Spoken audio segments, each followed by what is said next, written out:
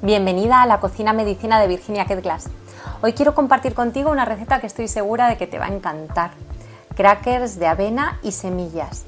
Son ligeros, crujientes, fáciles de preparar y una opción perfecta para acompañar hummus, cremas, quesos o simplemente disfrutarlas solas si quieres algo crujiente. Además, están cargadas de nutrientes y son ideales para cuidar de tu salud mientras disfrutas de un snack delicioso. Bueno, esta receta es muy versátil y sencilla de hacer. Con ingredientes básicos como la avena, las semillas y un toque de hierbas, podrás tener en unos minutos un snack saludable que no solo es delicioso, sino que también nutre tu cuerpo con fibra, grasas saludables y antioxidantes. Lo mejor es que estas crackers son una alternativa natural a los productos comerciales que a menudo contienen aditivos y conservantes. Aquí lo hacemos todo casero, simple y lleno de amor. Vamos con los ingredientes que necesitas para preparar estas crackers.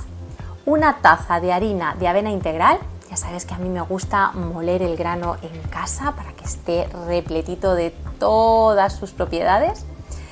Eh, media taza de semillas mixtas, como por ejemplo pues chía, lino, girasol o calabaza.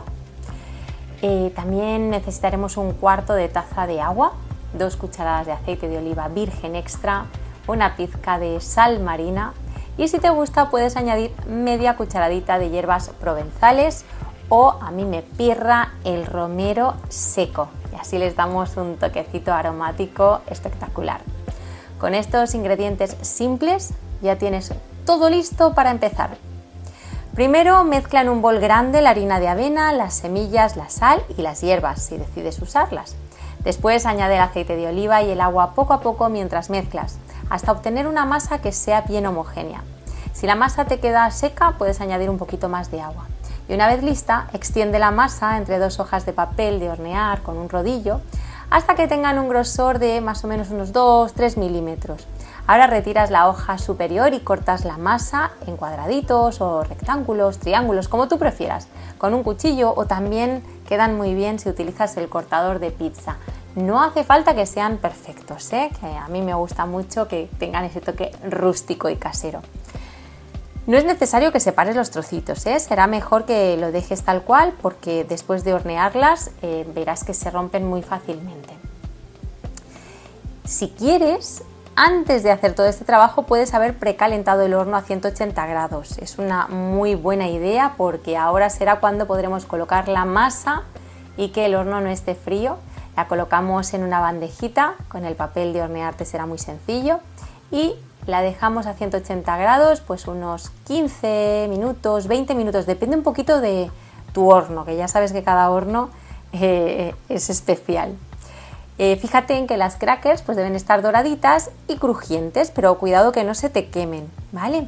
Y cuando las saques del horno, déjalas enfriar antes de separarlas. Si tienes una rejilla de estas para dejar las masas, los panes, las galletas, cuando salen del horno, muchísimo mejor, así no se te quedará la humedad debajo, te quedarán mucho más crujientes.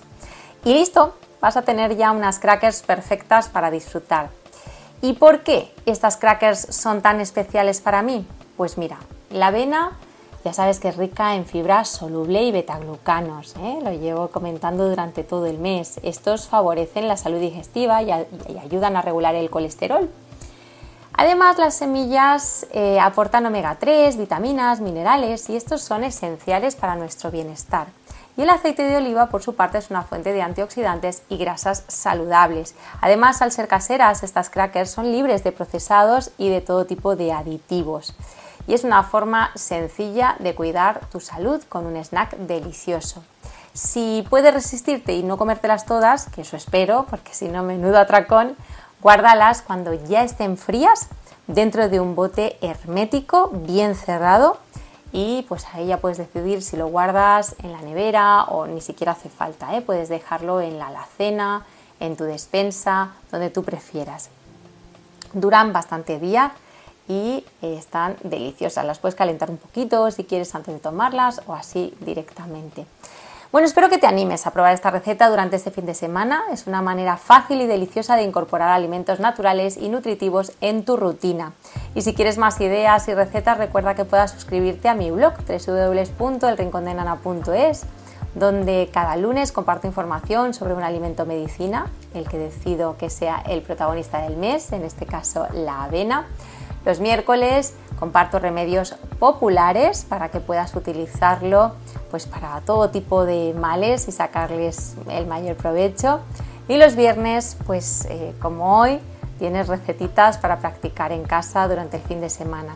También puedes escucharme aquí en el podcast, donde cada episodio pues, dura entre 5 y 10 minutos y te acompaña donde estés, en el coche, en casa, mientras limpias, mientras cocinas, en el gimnasio, cuando das un paseo, cuando gustes. Me encanta que me escuches. Puedes suscribirte y darle a la campanita si no quieres perderte ninguno de estos episodios.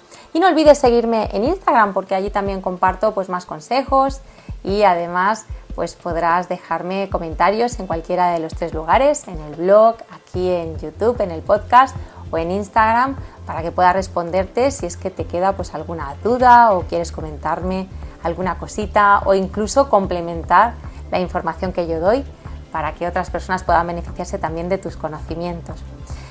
Y bueno, estaré feliz de recibir tus comentarios, de responderte, de ver cómo disfrutas del material que comparto y también pedirte que compartas tú también con otras mujeres, con otras personas para dar a conocer toda esta información tan interesante para cuidar de nuestro bienestar y nuestra salud. Es así como me gusta hacerlo a mí, compartir con una comunidad que de cada vez es mayor de mujeres comprometidas con su bienestar.